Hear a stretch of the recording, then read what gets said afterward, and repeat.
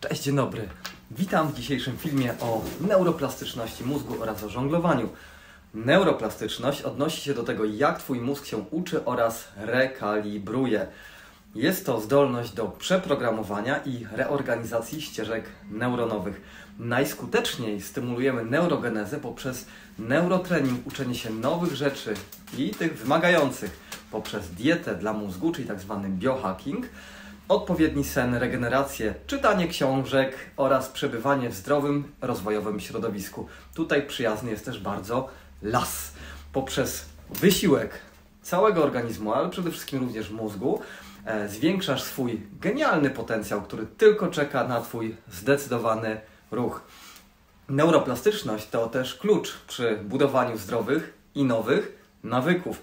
Rozwijając jak, takie umiejętności jak żonglowanie, możemy skuteczniej uczyć się oraz, co równie ważne, to wiem od samego Tonego Buzana, oduczać się tego, czego już nie potrzebujemy. Badania pokazały, że żonglowanie istotnie wpływa na realne, realne i mierzalne powiększenie się w istocie szarej, i białej w mózgu. Masz też dużo szybszą szybkość reakcji i tym samym dużo trafniej podejmujesz decyzje.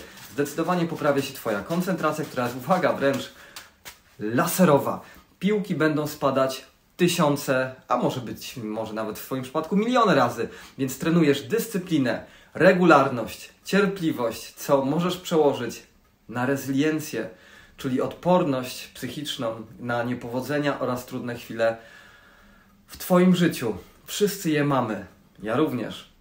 Żonglowanie to też niezliczone korzyści dla Twojej pamięci, dla Twojego mózgu i do tego, żeby utrzymać Twój mózg w zdrowiu jak najdłużej. Trzy piłeczki oraz więcej w powietrzu e, Twój mózg zmusza do tego, żeby zrobić nie lada wysiłek. Twoje neurony strzelają z prędkością światła, trenujesz koordynację, synchronizację, zwiększa się praca Twojego spoidła wielkiego mózgu, dotlenienie i ukrwienie Twojego mózgu poprawia się świadomość przestrzenna, dzięki temu będziesz lepszym kierowcą, rowerzystą czy skaterem. Tam wszędzie używamy skutecznie naszego mózgu. Dla mnie żonglowanie to przede wszystkim forma medytacji, odprężenia, którą praktykuję od 17 lat.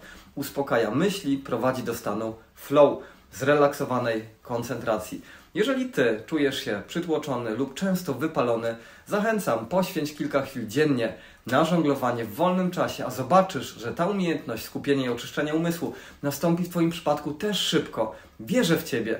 Wiem, że to, na początku nie jest łatwe.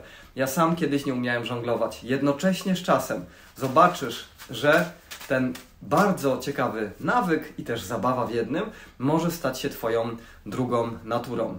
Udostępnij proszę, jeżeli chcesz więcej takich treści, jeżeli chcesz e, więcej słyszeć o tym, jak trenować mózg, jak uczyć się, co jeść, tak, i jakie warunki sprzyjać, sprzyjają rozwoju twoi, Twojego mózgu, udostępnij dalej i jedziemy. Życzę Tobie pięknego, neuroplastycznego dnia.